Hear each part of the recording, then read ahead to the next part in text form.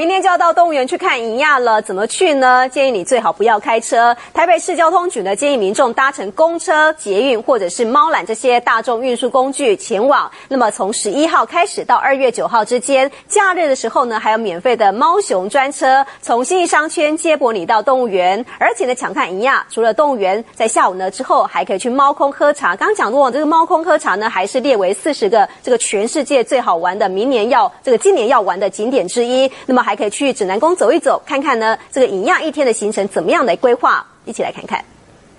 猪肉香肠啊，两只五十啊，快来买啊！香喷喷的香肠吸引消费者自掏腰包。中秋假日人潮很多，不过这些猫空的小吃摊贩看中的更是首波看元仔的人潮商机。至少比一般就是平日的时候会备料至少至少一倍了。假日的那个那个那怎么一样？跟假日的平常的比较少嘛，那假日比较多嘛，哦，就这样子。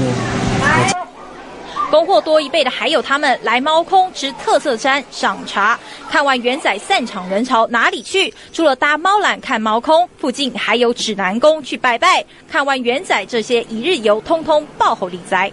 要看可爱的一亚，交通很重要啊！特别是呢，一月六号呢，除了这边满满的人潮以外呢，还有哪些 people 爆火力塞？嗯，对啊，要尽早安排吧。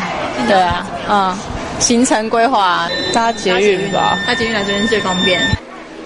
从猫缆进去动物园看园仔也 OK，不过也要提早出门。至于周边还有公车接驳，至于卡哇伊的猫熊公车要等到一月十一号才会跟大家见面。人权范金文周宇的台北采访报道。